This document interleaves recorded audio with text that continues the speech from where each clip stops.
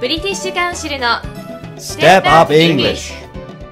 この番組は活かせる英語を身につけて目指せ英語のエキスパート British Council の提供でお送りします。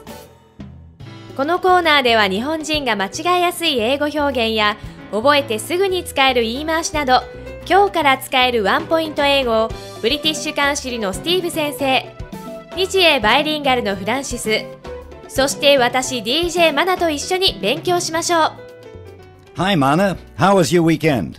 It was good. I went to Orchard shopping. What did you do last weekend, Francis? 俺買い物行ったよオーチャードに Oh, really? What a coincidence. What did you get? うーん窓かなえそれって、ウィンドショッピングのことそうそうそうそれそれあ Okay, everybody, are you ready? Yeah! ー。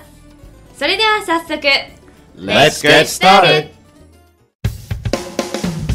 今週はショッピングの時に日本人が間違えやすい表現をご紹介します一緒に正しい表現を勉強しましょう今日のスキットはショッピングに出かけたマナさんが買った商品が不良品だったため店員にクレームを伝える時の会話です Excuse me Sure!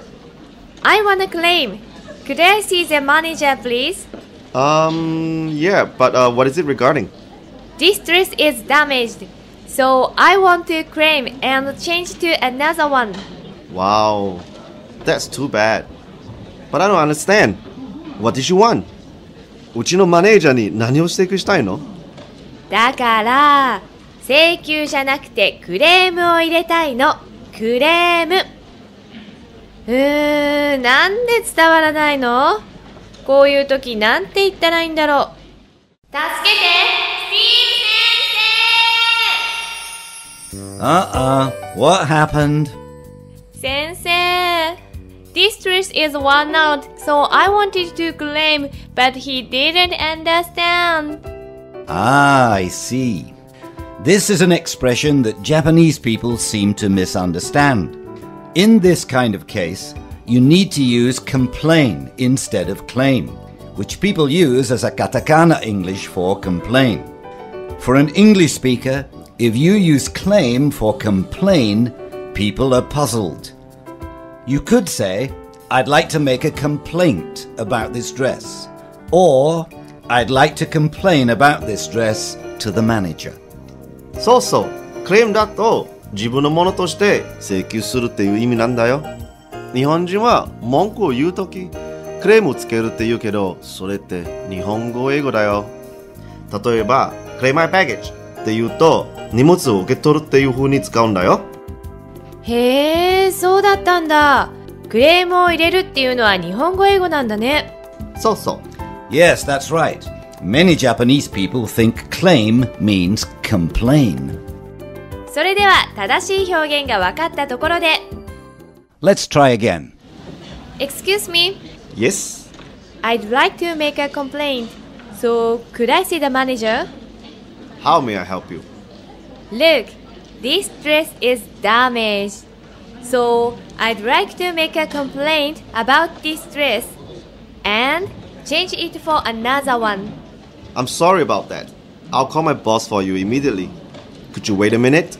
OK Thank you それではここでフレーズの復習です Lesson クレームを入れたいんですが I'd like to make a complaint. この商品についてマネージャーにクレームを入れたいんですが I'd like to make a complaint about this product to the manager. 荷物を受け取る I claim my baggage. 交通費を請求する。I claim a cab fare. 皆さん覚えましたか？日本人が間違いやすい英会話表現。明日からすぐに使える言い回しをマスターして一緒に英語力に磨きをかけていきましょう。それでは皆さんまた来週。See you next week!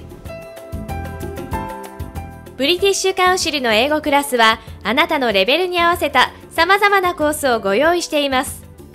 講師は全員豊富な教育経験を持つ英語教育のエキスパートです。詳しくはウェブサイトをご覧ください。または日本語ヘルプデスク。電話6470-7189までお問い合わせください。